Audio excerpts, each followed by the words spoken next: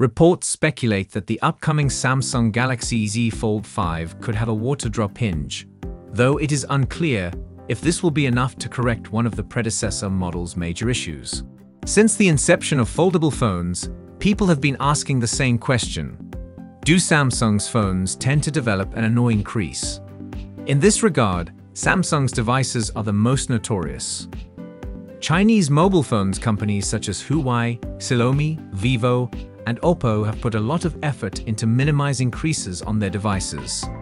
Even the Google Pixel Fold's crease is not as visible as the Fold 4. Despite this, the complete elimination of creases is yet to be achieved. Samsung put a lot of focus on long-lasting durability over a consistently flat screen. However, word spread that they had designed a hinge to reduce any creasing without giving up its hard-wearing nature. It was recently reported that the water drop hinge on Samsung's foldable phones might reduce the effectiveness of Free Stop, which is a feature that allows you to set your phone at different angles, for example, in an L shape when using it like a laptop. According to Ice Universe, the water drop hinge on the Samsung Galaxy Fold 5 does not completely reduce the crease present on its main screen. This is more apparent compared to other foldable phones from Chinese manufacturers. Fold 5 only differs slightly from Fold 4 with a modest 15% reduction in crease prominence. Initially, they even had difficulty telling the two models apart.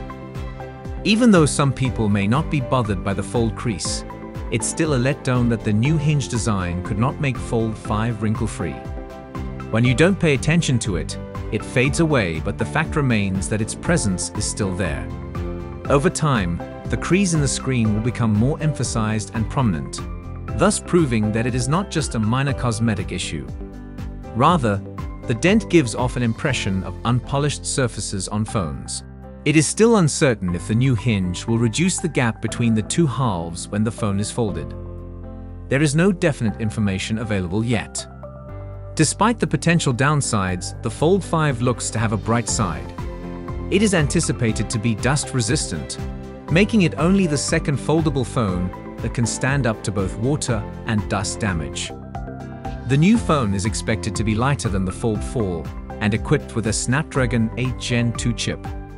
It is also anticipated to have a smoother screen, making it one of the top foldable devices on the market. Samsung announced that the launch of their new phone will take place in July. The Indian authorities recently certified Samsung's new foldable devices, and the TDRA, meaning Telecommunications and Digital Government Regulatory Authority, also approved the Galaxy Tab S9 and Tab S9 Ultra. The Samsung Galaxy Tab S9 Plus has yet to receive TDRA certification, but its Wi-Fi SMX710 and 5G SMX716B counterparts have both been approved in the Arab region. Additionally, the Wi-Fi version, SMX910, of the Galaxy Tab S9 Plus has also successfully passed all tests.